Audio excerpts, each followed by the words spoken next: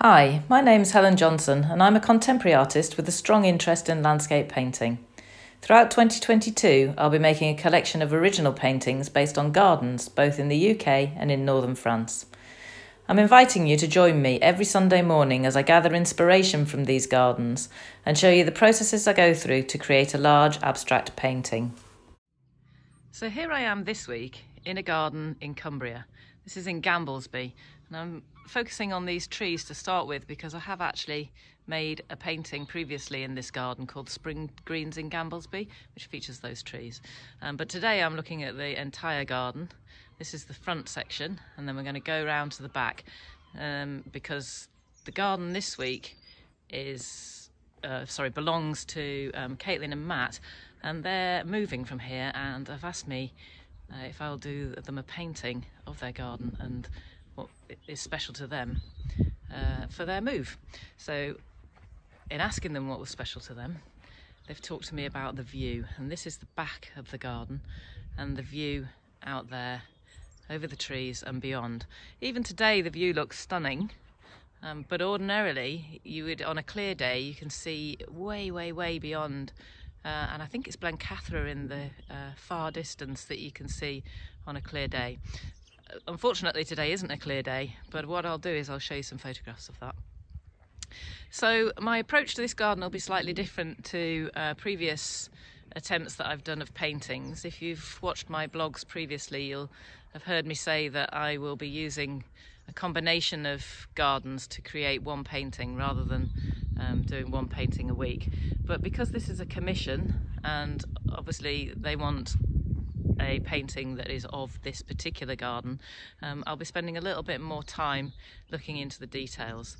I'll do quite a few studies, quite a few um, other paintings, and my uh, final outcome may well not be quite as abstract as it would normally be, um, because uh, Caitlin and Matt would like me to reflect the memories and the things that are special to them. In terms of shape, can't help but notice the big orange hexagon, uh, hexagon, orange rectangle shape here, um, and that'll definitely have to feature somewhere in there as part of that lovely beech hedge. And yet again, we've got the theme of orange and green, which is kind of like a winter theme, I suppose. There's still a lot of green around, um, but when the trees are dying back, they do produce that beautiful orange. Another feature of this garden, which will have to um, be in the painting somewhere, I don't know if you can see in there, in amongst the trees there are some hens and there are I think about six hens. There's the little hen hut. And they have been a feature helping to maintain or not this garden um, for all the time that Caitlin and Matt have lived here. So they will definitely be a part of the painting somewhere.